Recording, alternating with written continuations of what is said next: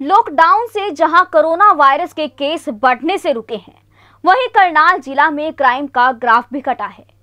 Police से मिली जानकारी के मुताबिक आपराधिक केसों में भारी घटोती हुई है। इस बारे में करनाल रेंज की आईजी भारती अरोड़ा ने बताया कि पुलिस मुस्तैदी से अपनी ड्यूटी का निर्वहन कर रही है, जिसके चलते लॉकडाउन के दौरान क्राइम में भारी कमी आई है।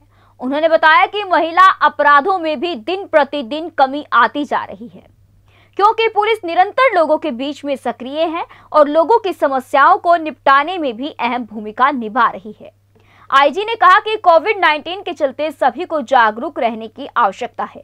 इस दौरान उन्होंने मास्क लगाकर ही भीड़ भाड़ वाले क्षेत्र में जानी और सैनिटाइजर का प्रयोग समय समय पर करने का आह्वान किया है। कमी आई है? वो कौन किस प्रकार के अपराध है और महिलाओं के साथ जो अपराध है उनमें कितनी कमी आई है?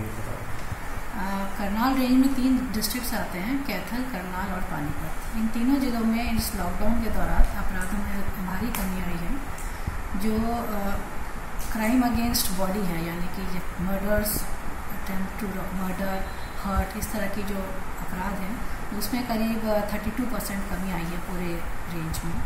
और महिला विरुद्ध अपराध में भी भारी कमी आई है, करीब 70 प्रतिशत कमी आई है महिला विरुद्ध अपराध में। और जो 1091 महिला हेल्पलाइन नंबर है, इसमें जो कंप्लेंट्स आती थी हमारे पास, उसमें भी बड़ी कमी आई है। करीब 60 परसेंट कमी नंबर ऑफ़ कंप्लेंट्स में आई हैं।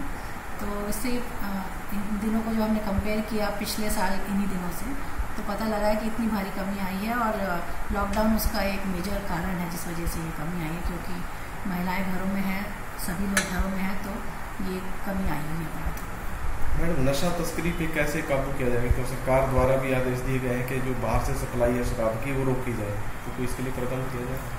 नशा तस्करी के लिए पुलिस बहुत ही सजग है। लगातार हमारे नाकों पे चेकिंग होती रहती है और इन्फॉर्मेशन हमारे पास आती रहती है। जहाँ जहाँ इन्फॉर्मेशन आती है, लगातार उस पर रेड की जाती है। जो रेड की जाती है, उसमें जो मटेरियल मिलता है ड्रग्स मिलती हैं, उसका जो सोर्स है, जहाँ से वो आई है, वहाँ तक पहुँचा जाता है। और लगातार हम प्रयासरत हैं, लगातार सजगों पे चेकिंग कर रहे हैं रेड्स कर रहे हैं। इसके अलावा और संस्थाओं के साथ मिलके नशा विरोध के नशा के विरुद्ध हम लोग अभियान भी चला रखा है, लोगों में जागरूकता अभियान चलाया हुआ ताकि लोग स्पेशली जो यूथ इसके साथ इसके चुंगल में फंस गए हैं वो उससे निकल सकें। पुलिस वाले कहीं कोरोना की स्पेट में आते जा रहे हैं। सुरक्षा की दृष्टि से क्या कुछ प्रबंध किए जाते हैं आपकी रेंज में? देश में अगर हम देखें तो कई आ, कई कई स्टेट्स ऐसे हैं जहाँ पे भारी मात्रा में पुलिस वाले कोरोना की चपेट में आ चुके हैं।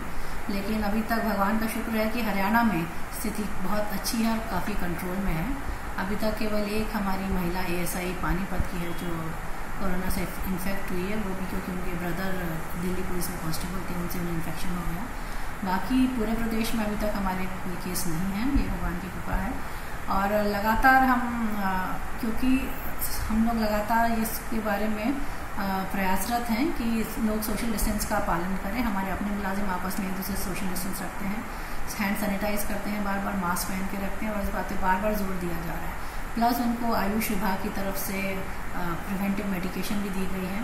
उनको विटामिन सी और संतरे वगैरह दिए जा रहे हैं ताकि उनका इम्यून सिस्टम बेटर हो और किसी भी बीमारी से लड़ने की ऐसे ही लेटेस्ट खबरें पाने के लिए बेल आइकन को क्लिक कर हमारे चैनल को लाइक शेयर एंड सब्सक्राइब करें धन्यवाद JBD Banquets lie hai incredible marriage palace Rajgharana and the finest banquet hall Jyoti Garden. World-class catering, centrally air-conditioned, lush green lawns, state-of-the-art lighting. A perfect venue for wedding, launching and parties. Rajgharana and Jyoti Garden at JBD Banquets Enterprise.